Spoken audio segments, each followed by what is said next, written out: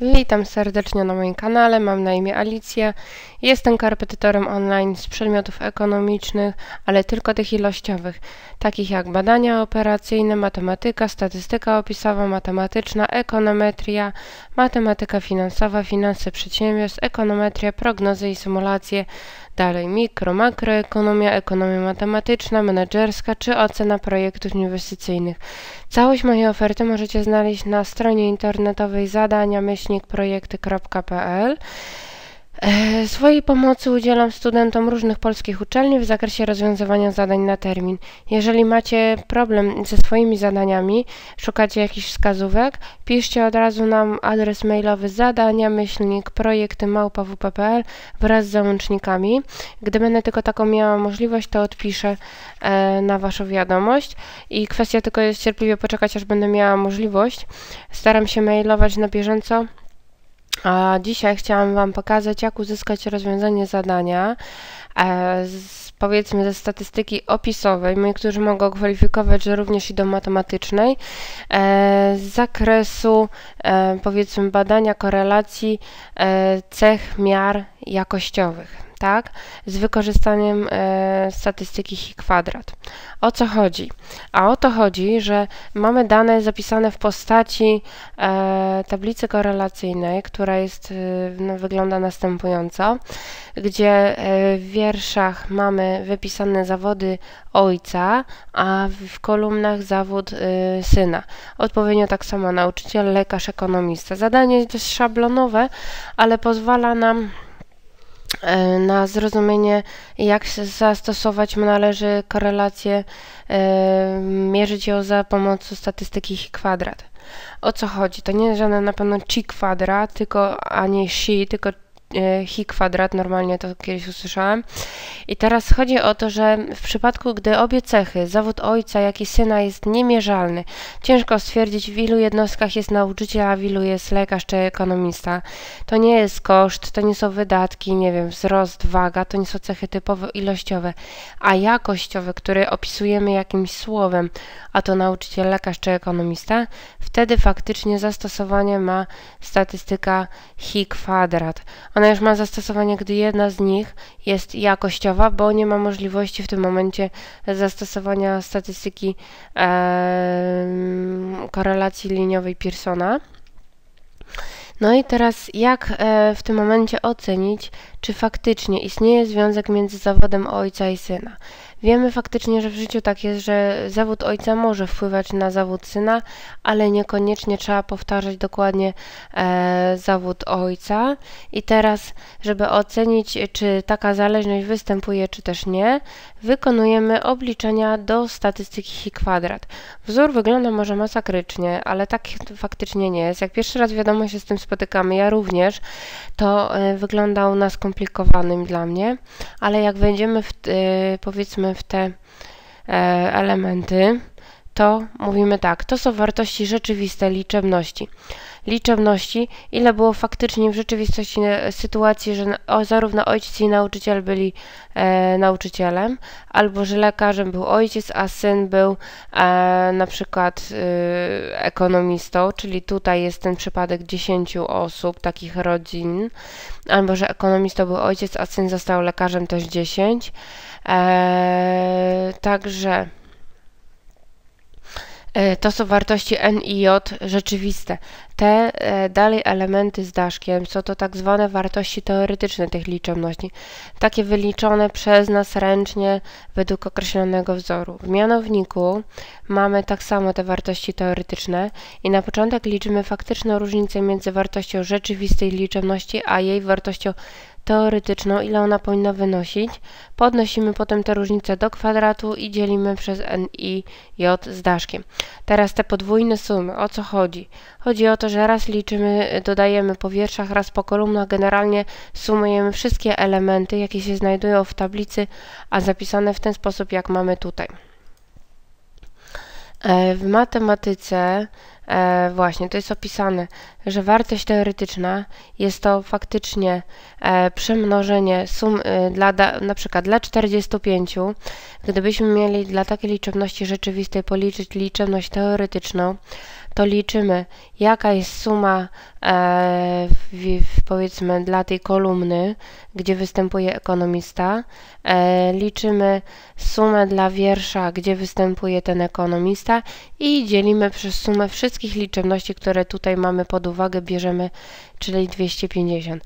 Jeżeli to zrozumiemy na przykładzie, to będzie nam bardzo łatwo przejść przez to zadanie bez e, większej czkawki, że tak powiem. No i teraz e, na pewno musimy zauważyć, że pierwsze liczby, te, e, te empiryczne, rzeczywiste jakie były, wynoszą odpowiednio. To są przepisane te liczebności bez opisu, że to jest nauczyciel czy ekonomista. Potem liczymy tak zwane wartości teoretyczne według tego wzoru, co jest powyżej. A na przykład 21,60 wyszło w ten sposób, że dla 30 jaka jest wartość teoretyczna, a taka, że biorę jaka jest suma e, z wiersza, jaka jest suma z kolumny 60 i dzielę przez liczebność ogółem. Czyli e, liczebność dla 30 to jest 90 razy 60 przez 250. Za każdym razem będziemy dzielić przez 250, bo taka jest suma e, dla wszystkich zawsze w tym zadaniu. Na przykład dla 40 e, bierzemy suma z wiersza, gdzie występuje 40, razy suma kolumny, gdzie występuje 40, przez sumę generalną 250.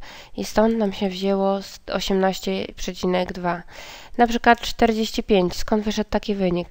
To wyszło dla 70 wartość teoretyczna.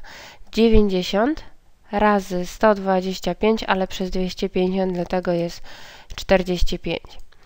E, teraz w kolejnym kroku, gdy mamy wartości empiryczne i wartości teoretyczne, możemy przejść do obliczenia statystyki testowej tego kwadrat. Tak jak tu tabelka może jest mało czytelnie zapisana, ale oznacza tyle, że dla każdego elementu z tych dziewięciu elementów tutaj wpiszemy wynik następujący. Od każd każda wartość e, rzeczywista minus wartość teoretyczna jest potem e, podnoszona zgodnie z tym wzorkiem do kwadratu i dzielona jeszcze raz przez wartość teoretyczną. Czyli faktycznie empiryczne 30 minus 21,6 teoretyczne wychodzi jakaś różnica. Na kalkulatorze podnosimy, dobra, to może ja to policzę. E, włączymy sobie kalkulator i teraz od 30 odejmiemy sobie e, 21 60, tak?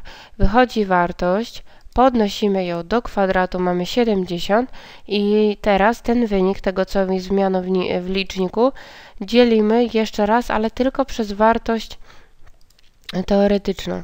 To, co otrzymujemy, 3,26 po przecinku, to jest wartość teoretyczna, e, powiedzmy już wynik, element statystyki te studenta, ale w miejscu, gdzie znajdowała się 30. Dla pozostałych 8 liczb, które tutaj mamy, musimy wyliczyć wartości teoretyczne według tego samego sposobu. Ale prostym sposobem na policzenie, skąd tu się wzięło 0, e, to mm, jest policzenie tak, rzeczywista minus teoretyczna wychodzi 0, bo to jest dokładnie to samo, podniesione do kwadratu też 0 i po podzieleniu jeszcze raz przez teoretyczne 45 mamy wartość 0. Co to nam daje? Ono daje nam to, że mamy policzony drugi element z 9 do obliczenia statystyki i kwadrat i to jest, te 9 elementów statystyki i kwadrat. Sprawdźcie sobie wyniki, czy Wam wychodzi tak samo. Potem można podsumować, ile wynoszą elementy w poszczególnych wierszach. E, I mamy 6 po przecinku, 44 i 27 wychodzi wartość statystyki. I teraz oznacza to tyle, że suma i po wierszach i po kolumnach, czy tak policzymy tutaj sumy kolumn i dadzą dokładnie ten sam wynik co sumy po wierszach, otrzymujemy 78. Czy to jest duże, czy mało, ciężko jest to stwierdzić. Zawsze statystyka i kwadrat posiada wartości dodatnie, jeżeli dobrze rzeczywiście wszystko policzymy. No i żeby ocenić, czy taka statystyka i kwadrat jest wysoka, czy też nie, można zastosować współczynnik Kramera, V Kramera. E, wzór jest następujący, jak tutaj widzicie. Pod pierwiastkiem mamy ten wynik chi kwadrat, n to jest nasze 250 liczebność, a w mianowniku mamy minimalną między k i w. k i w to są liczba kolumn i wierszy, jakie my mamy w tym zadaniu. Jeżeli macierz jest 3 na 3, to mamy zarówno 3 wiersze, pierwszy wiersz, drugi wiersz i trzeci wiersz i zarówno 3 kolumny, pierwsza kolumna, druga i trzecia kolumna.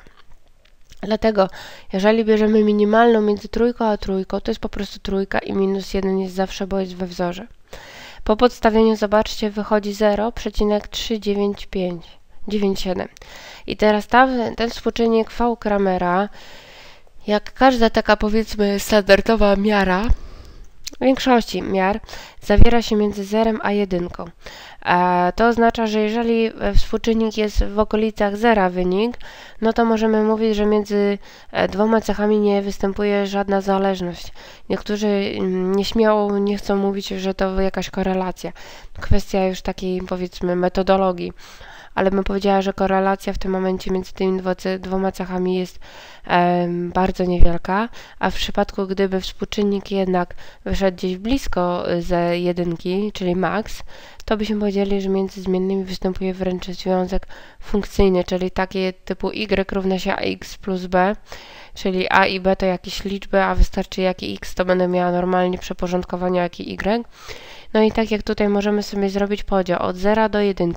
Ktoś kiedyś zastosował taki podział, że do 0,3 korelacja słaba, od 0,3 do 0,5 e, tam była bardzo słaba, teraz słaba, potem umiarkowana, silna i bardzo silna. E, i teraz e, to tutaj może być oczywiście statystyka i kwadrat liczona na podstawie e, tablicy korelacyjnej liczona, ale gdy mamy na przykład 2 na 2 bardzo łatwo policzyć statystykę i kwadrat. Tu mm, nie można było tego zastosować, innego wzoru na hi kwadrat takiego powiedzmy szczególnego. E, więc ja bym powiedziała, że tutaj zależność między tym zawodem ojca a syna faktycznie jest taka, ja bym powiedziała, wręcz jest e, słaba. W tym oczywiście podziale, możecie mieć inny podział. Jest w dziale od 0,3 do 0,5 i w tym momencie taka zależność faktycznie może w życiu istnieje, ale nie zawsze mm, jest to tak, że jak ojciec jest określonego rodzaju, to my na pewno też będziemy mm, w podobnym zawodem się zajmować. Także e, na ten czas ja kończę omawianie tego zadania. Liczcie jak najwięcej zadań na korelację, czy to liniową e, Pearsona, czy Spearmana, czy Chi kwadrat, bo wtedy dopiero zrozumiecie, czym jest faktycznie korelacja. E, dalej przecież jeszcze jest dział regresji, jakieś analizy podchodzące już pod, pod ekonometrię. Tylko jeszcze jedno, zwróćcie uwagę, że gdyby na Waszych zajęciach była jeszcze omawiana statystykach i kwadrat, ale w zastosowaniu w testach statystycznych, no to jeszcze tutaj do takiego zadania można dodać badanie istotności e, współczynnika korelacji kwadrat. Ja tego nie wykonałam, bo to jest bardziej zadanie pod statystykę opisową, e, gdzie mamy określić, czy ta statystyka i kwadrat jest wysoka, czy też niska, czy zależność jest umiarkowana, słaba, czy jaka inna. E, może w oddzielnym filmie będę omawiać taką statystykę i kwadrat, test na jego istotność, na tą statystykę, ale na ten czas ja kończę, bo film już jest dość długi. E, gdy będziecie potrzebować się skontaktować ze mną, to mailujcie od razu na zadania, myślnik projektem małpa.wp.pl.